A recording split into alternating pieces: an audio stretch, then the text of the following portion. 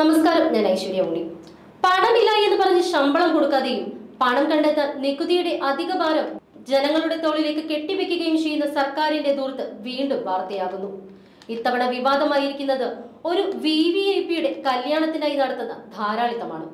വിവാഹത്തിനെത്തുന്ന അതിഥികളുടെ നക്ഷത്ര ഹോട്ടലിലെ വാസവും യാത്രയ്ക്ക് സർക്കാർ വാഹനങ്ങൾ ഉപയോഗിക്കുന്നതും പോലീസുകാരുടെ ഡ്യൂട്ടികൾ ദുരുപയോഗം ചെയ്യുന്നതിന്റെയും പുതിയ വിവരമാണ് പുറത്തുവരുന്നത്. ഐ പി എസ് ഉദ്യോഗസ്ഥൻ I R battalion commandant Padam സിംഗിന്റെ കല്യാണത്തിന് വേണ്ടിയാണ് പൊതുപണം പൊടി പൊടിക്കുന്നത് വിവാഹത്തിനായി എത്തുന്ന അതിഥികളെ നക്ഷത്ര ഹോട്ടലിലാണ് താമസിപ്പിക്കുന്നത്.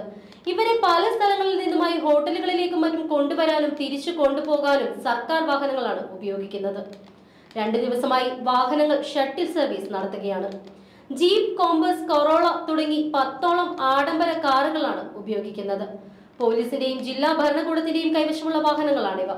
ബോൾഗാടി പാലസിൽ നടക്കുന്ന വിവാഹത്തിനെത്തുന്ന അതിഥികളെ വിമാനത്താവളത്തിൽ നിന്നും ഹോട്ടലിലേക്ക് എത്തിക്കണം.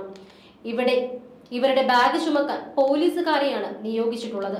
രാവിലെയും രാത്രിയിലും എല്ലാം എത്തുന്ന അതിഥികളെ കണ്ടെത്താനും കൊണ്ടുപോകാനും പ്രത്യേക ലിസ്റ്റ് തന്നെ നൽകിയിട്ടുണ്ട്. ലിസ്റ്റ് അനുസരിച്ച് ആളെ കണ്ടുപിടിച്ച് അവരെയും അവരുടെ ബാഗുകൾ ചുമന്നും വാഹനത്തിൽ കയറ്റി ഹോട്ടലിലേക്ക് കൊണ്ടുപോകണം. കാലൂർ ബോൾഗാട്ടി എന്നിവിടങ്ങളിൽ വിവിധ നക്ഷത്ര ഹോട്ടലുകളിലാണ് താമസ സൗകര്യങ്ങൾ ഒരുക്കിയിട്ടുള്ളത്.